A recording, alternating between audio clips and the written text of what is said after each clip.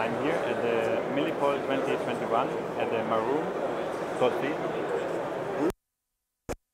And he's introducing us to the new Wild Goose system. Thank you very much. We have here the uh, all-new Wild Goose system. This system is a uh, carrying system that is meant for infantry units for the squad level. Um, this system has two versions, the two-wheel version and the four-wheel version. The uh, bracket for the stretcher is an add-on as presented right now. The system can carry 150 kilos the way it is assembled right now. And we can detach the back wheels, the back axle, as a two-wheeler while it's connected to the soldier with this connector right here. We have a special belt that attaches to the vest. This will attach. We the neck is very flexible, so different angles, different terrains, it will adapt to the user. And when you carry it with two wheels, you can carry 75 kilograms. It's a very versatile system so that you can use it with many, many different types of equipment.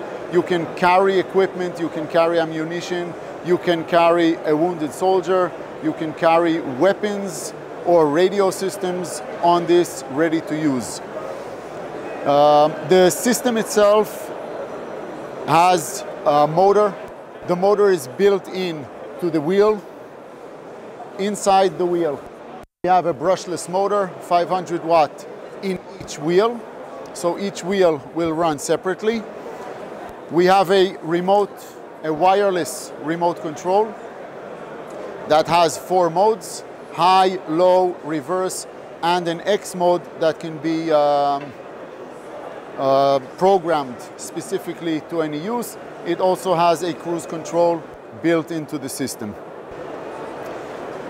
Uh, what else can I tell you about the, uh, the system? The tires have a special foam injected in so there is no air and even if the tire is punctured it will keep on going. It's a run flat system that does not require repairing the tire or anything else like that.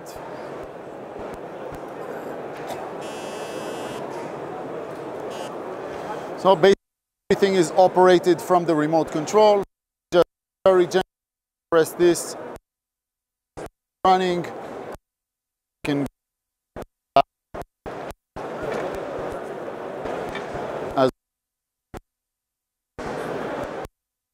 so thank you so much.